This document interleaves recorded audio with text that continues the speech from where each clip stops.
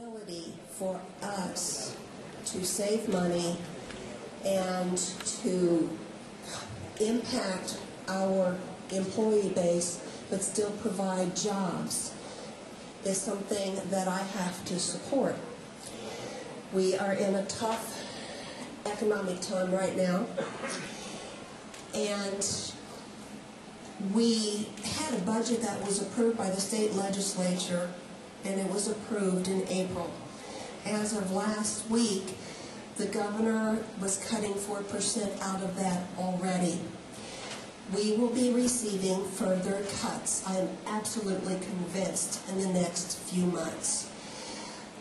The state representatives are telling us that further cuts are going to be coming. They will do their best to hold education harmless, but they are, they are projecting that they will not be able to hold us harmless throughout the entire coming fiscal year. Uh, at the Tuesday workshop, there was a presentation of restructuring health insurance as a substitute for the savings that would be um, presented through privatization. It's my opinion, it is not either or. It will be both. The superintendent is already looking at restructuring our health insurance program.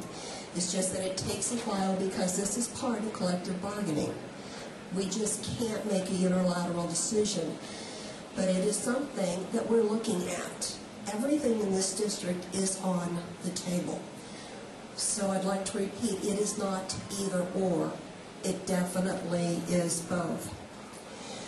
I did contact Duval County, and they are very pleased with GCA.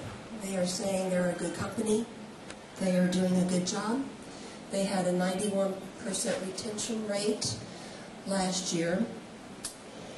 Um, and all of that being said, there is one issue for me that has made an appearance, and I think we cannot ignore it, and that is the community um,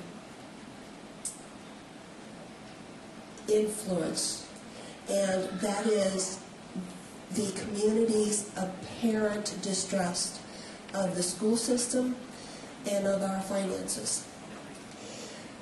We are proposing to put a referendum on the ballot in November because in two years we are absolutely going to need that money to maintain the education for our students.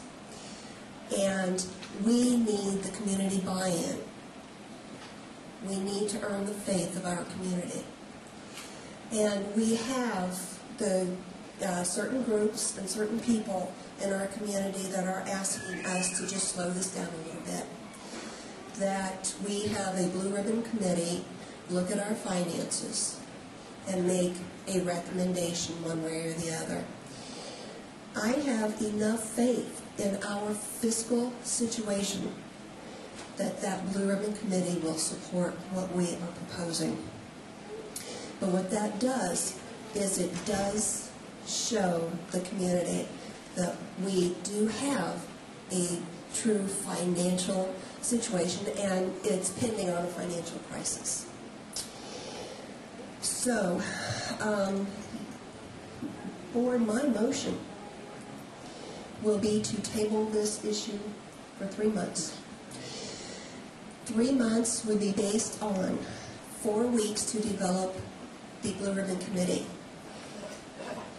eight weeks for them to do their homework, to learn the financial education finance program for our district, and then that would allow four weeks for that decision and our recommendation to go to the public before a vote at our October meeting.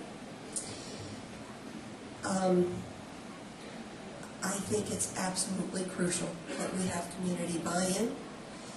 Um, now, the that puts us in a precarious situation because we must have a balanced budget. Our fiscal year starts July the 1st. we must balance our budget. We have other options to, to balance the budget, but at this point, I recommend that we take the necessary funds, the two point nine million or whatever, out of our reserves, hoping that that's a temporary solution. But that will balance our budget to the point where we can have the community buy-in into this process and then take the vote in October. So my, my motion is to table it until October.